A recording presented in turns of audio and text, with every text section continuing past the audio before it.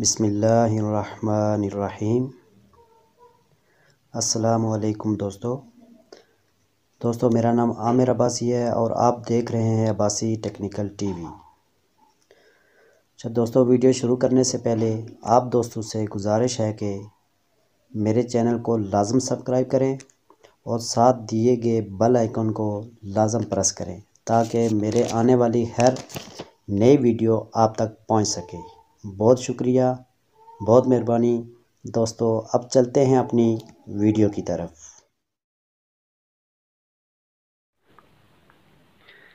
जी दोस्तों, आज हम जानते हैं आइसक्रीम मशीन की वायरिंग के बारे में, क्योंकि ये काफ़ी बड़ा मसला होता है। ये होती भी काफ़ी मुश्किल होती है। मुश्किल होती नहीं है, लेकिन जैसे वायरिंग की होती है, आप देखें, इसमें आप कोई भी बंदा देखेगा, वो यही कहेगा कि ये बहुत मुश्किल है, लेकिन हालाँकि इतनी मुश्किल है नहीं। अगर इसको तरीक़ाकार से बंदा समझे तो ये कोई मुश्किल नहीं है। मैंने आपके लिए एक डायग्राम भी तैयार किए, ठीक है, लैपटॉप पे। वो उस, वहाँ पे आपको समझाऊँगा। इन जो बंदा भी ये पूरी वीडियो देखेगा, उसको लाजम ये आइसक्रीम मशीन के कनेक्शन के बारे में आज के बाद उसको, यानी प्रॉब्लम नहीं आएगी, हर हाल में उसको समझ आएगी। ठीक है? कभी भी वो मतलब उस, आज के बाद उसके लिए ये प्रॉब्लम ख़त्म हो जाएगी कि ये, इसकी वायरिंग मुश्किल है, इसके कनेक्शन करने मुश्किल हैं। क्योंकि अमूमन ये बंदा जब भी ये चेकिंग के लिए कोई भी मैकेनिक जाता है, वो समझ नहीं पाता कि मैं चेक कैसे करूँ इसको, क्योंकि इसकी वायरिंग ऐसी उलझन में पड़ी होती है ये वायरिंग ठीक है? तो चलो दोस्तों आ जाओ चलते हैं लैपटॉप पे। वहाँ पे डायग्राम बनी हुई है। ठीक है? मैं वहाँ पे आपको समझाता हूँ। और कोशिश करता हूँ कि वीडियो कम से कम शार्ट से शार्ट अच्छा दोस्तों, अब हम आ गए हैं लैपटॉप की स्क्रीन पे। ये देखें हर स्क्रीन मशीन के अंदर जो स्पेयर पार्ट्स यूज़ होते हैं, वो सब यहाँ पे हैं, ठीक है? सबकी पिक्चर बना के मैंने उनके ऊपर नाम लिख के रखे हुए हैं आप लोगों की आसानी के लिए, ताकि आपको सही समझ आए। देखिए आइसक्रीम मशीन में आप जब सर्किट को देखते हैं तो खुद बंदा, मैकेनिक बंदा भी कंफ्यूज हो जाता है कि ये कहाँ से बंदा शुरू करे और इसको कैसे इसको मतलब सही करे ना। आप खुद, ये आप यहाँ पे आप खुद देखेंगे कि आप एक बार इस सर्किट को देखेंगे तो आपको खुद सही समझ आ जाएगी कि ये तो आप कहेंगे ये तो बहुत आसान है। ठीक है? वाकई में ईजी है मुश्किल कुछ भी नहीं है, लेकिन वहाँ पर तारें ऐसी लगी होती हैं कि बंदे बंदे कंफ्यूज हो जाते हैं, ठीक है? अभी देखें, ये इसका हैंडल है, ठीक है आइसक्रीम मशीन का। ये कंडक्टर है, एक और दो कंडक्टर हर मशीन में लगे होते हैं, ठीक है? आप कहीं भी देख लें, ये टाइमर होता है, ठीक है? मतलब टाइमर का मतलब ये होता है कि कब इसको बंद करना है, कब बंद करना है। ये ट्यूब स्विच होता है एक एक साइड पे करेंगे ऑटोमेटिक होगा, दूसरी साइड पे करेंगे मैनुअल होगा। और ये देखिए, ये कंप्रेसर है। कंप्रेसर के साथ एक छोटी सी डब्बी लगी होती है, जिसके अंदर दो कैपेसिटर होते हैं, एक रिले होती है। ठीक है, ये भी काफ़ी लंबी असम है इस पर काफ़ी लंबी बहस है। हो सकता है कि दस मिनट ये ले लें। इसलिए इसकी एक अलग वीडियो मैं आपको बना के दे दूँगा। लेकिन इसमें इतना ज़्यादा मसला भी नहीं होता। ठीक है कनेक्शन को इसमें ज़्यादा प्रॉब्लम नहीं होती। और ये अगर रिले के बारे में होता है कि क्या काम करते हैं, कैसे करते हैं कैपेसिटर का क्या मकसद होता है, किस तरह काम करते हैं, दो क्यों लगे होते हैं, सबसे बड़ा सवाल इसमें ये होता है। अच्छा हर ये एक अलग बहस है। अब देखते हैं, ये इसके आगे लगा हुआ है, फ़ैन एंड कंडेंसर लगा हुआ है दोनों। ठीक, और ये मोटर है, जो पूरे उस रोटर को चलाती है। ठीक है, जो अंदर जो आइसक्रीम बनाती है, उसको घुमाती है फिर अच्छा इसके अंदर ये थर्मोस्टेट होता है। एक थर्मोस्टेट यानी इसको एक जगह पर एडजस्ट करना पड़ता है कि भाई आपको कितनी कूलिंग चाहिए, क्योंकि आज जम जाए तो फिर भी वो आइसक्रीम निकलेगी नहीं। ठीक है, उसको एक लेवल देखना पड़ता है। अच्छा ये वोल्ट मीटर है। आपको बताएगा बिजली कितनी है। अच्छा सर, ये देखिए, ये एक लाल कलर का इसका मैंने नाम नहीं लिखा हुआ। ये एमरजेंसी स्विच होता है। ये हर मशीन में नहीं होता, लेकिन ज़्यादातर होता है। अच्छा इसका मकसद क्या होता है कि ये बंद करेंगे तो आप ये इसको ऐसे पुश होता है, ये ठीक है? पुश करेंगे तो आपकी पूरी मशीन हर चीज़ इस मशीन में बंद हो जाती है। ये एमरजेंसी होता है, जब कभी आपकी देखें आइसक्रीम कभी स्पार्क करना शुरू कर देती है या कोई और मसला हो जाता है तो ये स्विच लगा तो ये दबा देते हैं, ठीक है? अच्छा अभी बगैर टाइम ज़ाय किए, देखें, ये असल में मैं जल्दी जल्दी थोड़ा बोल रहा हूँ इसलिए कि वीडियो ज़्यादा लंबी ना हो। मुझे पता है कि ये असल में कनेक्शन करने मुश्किल भी होते हैं और इसमें अभी डायग्राम में समझाने में जाऊँ, यानी सही बारीकी से तो बहुत टाइम लग जाता है। बहरहाल, मैं आपको डायग्राम इसकी पूरी करके, यानी इसके कनेक्शन करके बताता हूँ। ठीक है, सबसे पहले हम न्यूट्रल से स्टार्ट करेंगे। ठीक है, मैं वीडियो शॉर्ट करने के लिए थोड़ा वीडियो रोक के थोड़ा थोड़ा कनेक्शन करके फिर वीडियो चला के आपको दिखाऊँगा, ताकि वीडियो शॉर्ट हो और आपको सही समझ भी आए। और आप देखने में ज़्यादा बोर भी ना हो, ठीक है? अच्छा दोस्तों, ये देखें न्यूट्रल का सर्किट पूरा हो गया, ठीक है? ये चेक करें। न्यूट्रल का इनपुट तकरीबन यहाँ तक ही होता है, ठीक है? ये देखें, सीधा सर्किट से निकला है, ठीक है? ये स्विच के साथ नहीं कनेक्ट है ठीक है? ये इधर से गया है, सीधा पहले ब्रेकर में लगा ब्रेकर से आउटपुट निकाला है, फिर ये देखें कंडक्टर ठीक है? ये कंडक्टर के पॉइंट में लग गया है।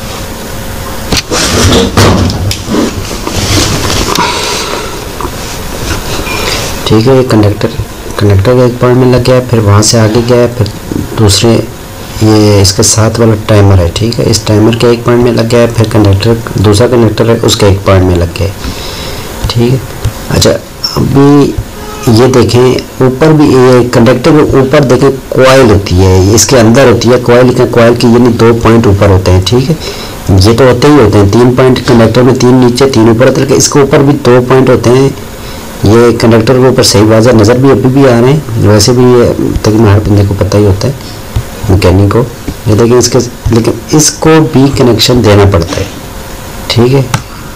ये देखें ये इसको दे दिए। ठीक है? ये न्यूट्रल दे दिए। इधर से इसको भी देंगे।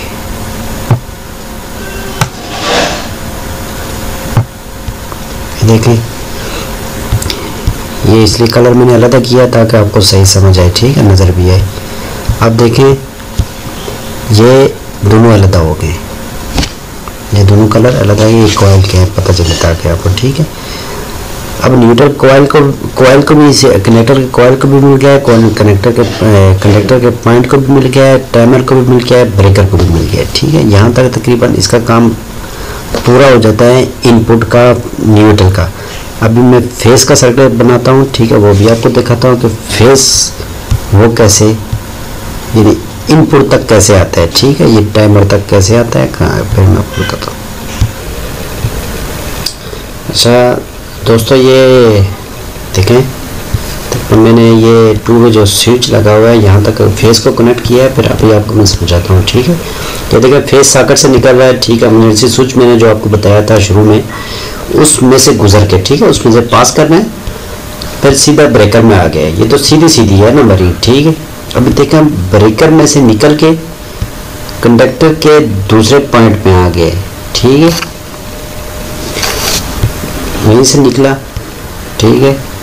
निकल के फिर दूसरा जो कंडक्टर है, उसके दूसरे वाले पॉइंट में यानी जो क्वाइल का नहीं कंडक्टर का पॉइंट है, उसमें आ गया। ठीक? वहाँ से फिर फेस को हमने निकाला। ठीक है? ये जॉइंट है। ठीक है? ये जो आपस में होते हैं ना, ये जॉइंट डले हुए हैं। ये हैंडल लगा हुआ है। ठीक है? हैंडल में चला गया। ये हैंडल में अच्छा सबसे पहली बात हैंडल जो होता है, आपको पता है जब हैंडल दबाते हैं तो मोटर भी चलती है, ये वाली मोटर ठीक है, ये मोटर भी चलती है, और जिसकी वजह से नहीं वो आइसक्रीम भी आती है, फिर आपने देखा होगा हर जगह मोटर चलती है ना उसका, उसके बारे में मैं आपको बताऊँगा कि वो कैसे कनेक्ट होता है, लेकिन अभी सिर्फ़ इन किया है मैंने, इसके कनेक्शन आउट नहीं किया आउट वो लास्ट में आपको बता दूँगा कैसे होता है, ठीक है? क्योंकि अभी मैं अब अभी मैं अगर आपको बताऊँ तो आपको समझ भी नहीं आएगी। ठीक है, आप कहेंगे, यार तो ये आउट हो रहा है, लेकिन वो आगे किस, इस तरह इसको किस, कैसे चलाएगा? मैं लास्ट में आपको बताऊँगा। अच्छा फिर देखिए ये फेस आ रहा है स्विच में टू वे स्विच जो है। ठीक है टू टू वे स्विच में आगे स्टॉप हो गए अभी यहाँ से ऑन कैसे, यानी ऑटो में कैसे ऑन होगा? ठीक, और मैनुअल में कैसे ऑन होगा? उसकी वायरिंग करता हूँ, मैं फिर आगे वीडियो को स्टार्ट करता हूँ। असल में देखें, आप ये ना कहें कि वीडियो स्टॉप करके वीडियो स्टॉप करने का मकसद क्या है? कि ताकि वीडियो शॉर्ट हो जाए। नहीं तो ये तीस मिनट की वीडियो बनती है।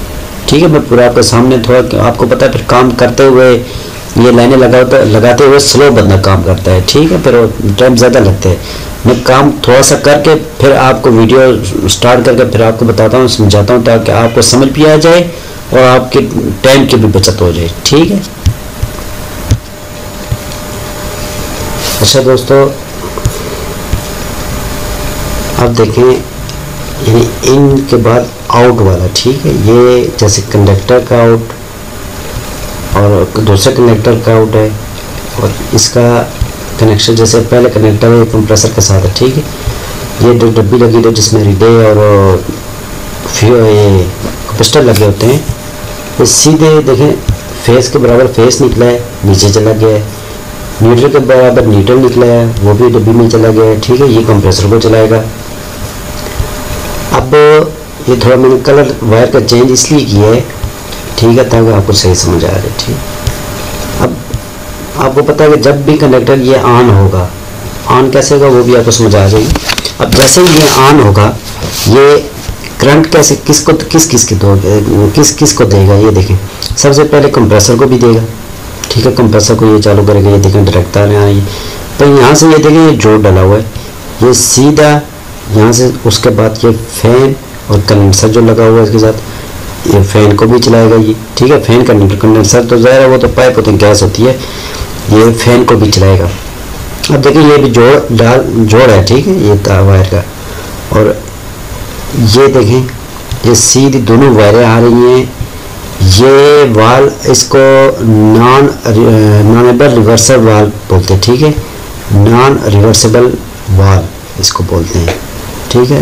या नॉन रिटर्न वाल वाल भी बोल सकते हैं यानी हर मकसद से ये कि ये गैस को वापस पीछे नहीं जाने देता। ये जहाँ पर गैस आगे चली गई है आपने इसको बंद कर दिया स्क्रीन मशीन को स्विच से किसी भी तरह से बंद कर दिया, ये बंद हो गया। कंप्रेसर आपका चालू नहीं है। यानी ये कंडक्टर कंडक्टर ऑन नहीं है कंप्रेसर चालू नहीं है तो इसका मतलब यह है कि आपका वाल खुद बहुत बंद हो जाएगा ये गैस को पीछे नहीं जाने देगा। ये देखें ये पाइप का निशान भी है ना यहाँ पर मतलब वो गैस को रोक लेगा ठीक है इसको। अच्छा अब इसका यानी कंडक्टर कंडक्टर जो है इस, इस वाला है कंप्रेसर वाला है इसका तो सर्किट पूरा हो गया ठीक है। अब देखते हैं दूसरे कंडक्टर को कौन सा वाला? जो मोटर को चलाएगा। देखिए ये इसका आउटपुट जा रहा है, कुछ भी नहीं है इस तरह मोटर को चला रहा है। ये क्या कंडक्टर क्या कर रहा है? सिर्फ़ मोटर को चलाएगा, जो आइसक्रीम मशीन के अंदर मोटर लगी होती है और उसके ऊपर जो चक्के बड़े लगे होते हैं, जिनके ऊपर बिल चढ़ी होती है, ठीक है? और बिल के पीछे एक राड होता है, जो अंदर आइसक्रीम को मिक्स करता है, ठीक है? ये उसको चलाएगा। ठीक है, आप समझ आ गए? अच्छा अब आगे चलते हैं। स्विच की तरफ़। ठीक है? स्विच का भी मैं बताता हूँ आपको कि यानी स्विच का क्या काम है और एक ये तो हो ये कनेक्टर ये आप देखें, ये कनेक्टर कैसे ऑन होगा, ये कैसे ऑन होगा। आप इस कनेक्टर की कॉयल ऑन होगी, ठीक है, ये पहले समझ लें कि ये कंडक्टर है, ये दोनों देख लें इसकी ये कॉयल होती है, ठीक है, ये कॉयल समझ लें कि एक मैग्नेट होता है। अब जैसे इस कॉयल ये कॉयल जैसे ही ऑन होगी, ये बटन को अंदर खींचेगी, क्योंकि मैग्नेट है।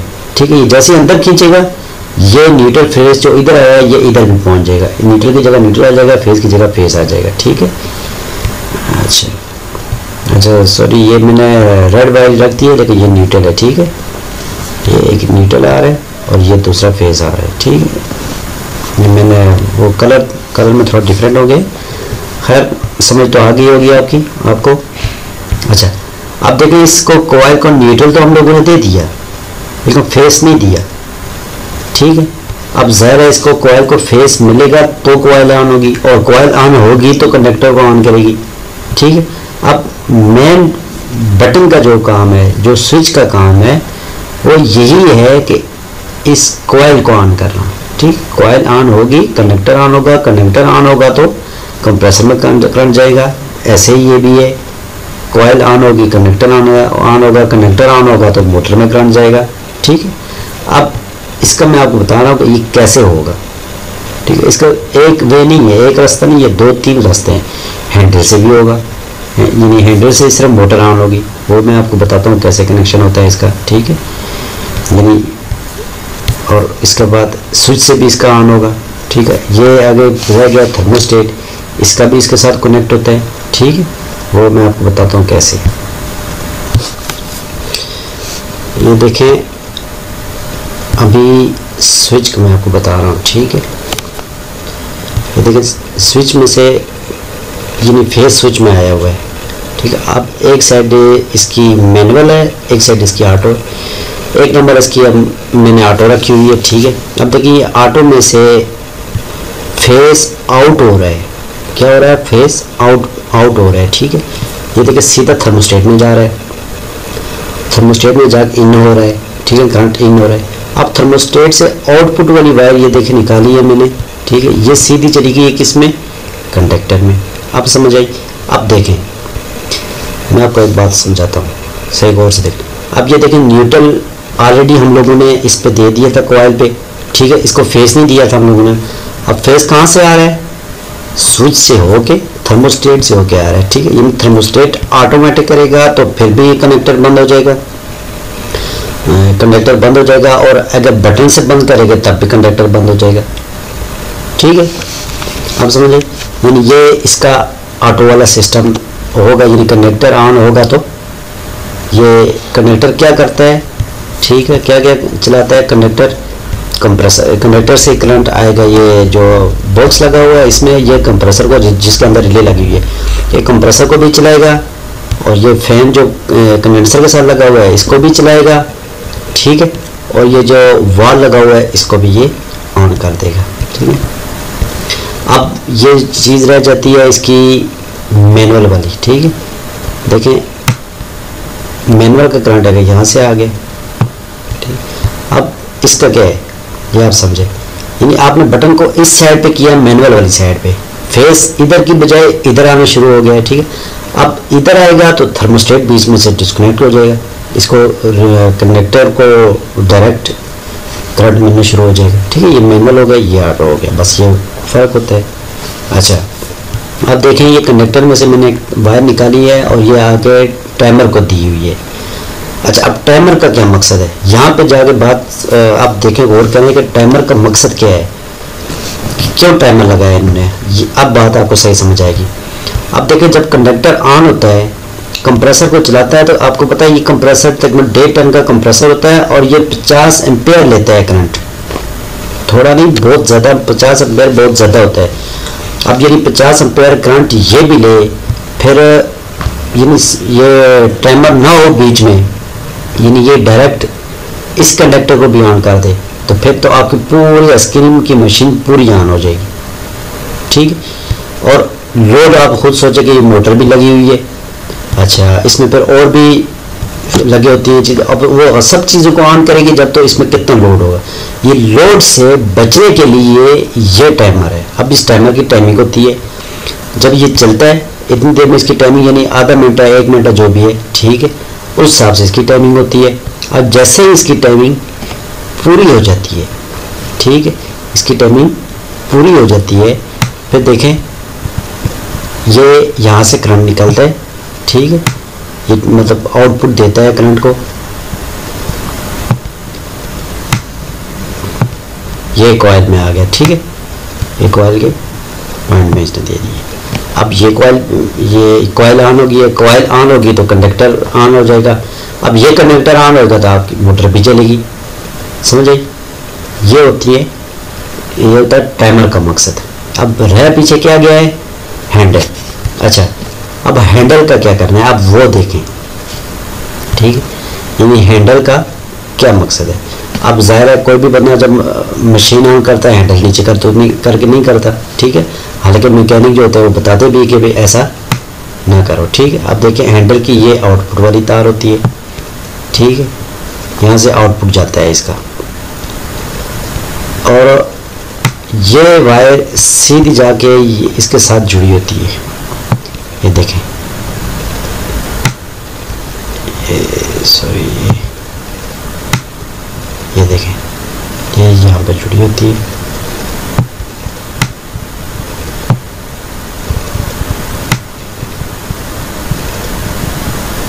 ये देखें। समझ आई कैसे? यानी अब हैंडल को, ये देखें, इसको किस किस चीज़ की कमी थी? फेस की। हैंडल को नीचे करें फेस आउटपुट देगा, ये फेस डायरेक्ट आएगा इसको मिलेगा किसको? कंडक्टर को, या कोयल को। कोयल कंडक्टर को ऑन करके कंडक्टर डायरेक्ट मोटर को ऑन करके आपको पता है, जब स्क्रीन निकालते वक्त, उसकी ज़रूरत पड़ती है, ठीक है? ये होता है, ये तकरीबन ये इसकी वायरिंग पूरी हो गई है, ये डायग्राम थी इसकी, ठीक है? उम्मीद है कि आपको मेरी वीडियो ये पसंद आई होगी, ठीक है? अगर आपको ये वीडियो मेरी पसंद आई है तो बर मेहरबानी सब्सक्राइब ज़रूर कीजिएगा देखिए सब्सक्राइब करने से हमारे भी सपोर्ट हो जाती है, और हर आने वाली वीडियो आपको भी मिल जाती है, ठीक है? बहुत मेहरबानी, बहुत शुक्रिया। ये देखिए ये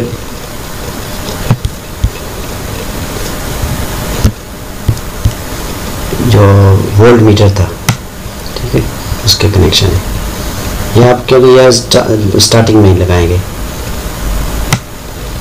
ताकि आपको पता चले कि हमारे पास करंट कितना आ रहा है। ठीक है? ठीक है, अल्लाह हाफिज़। दुआ में याद रखिएगा। अल्लाह ने बहुत शुक्रिया, बहुत मेहरबानी।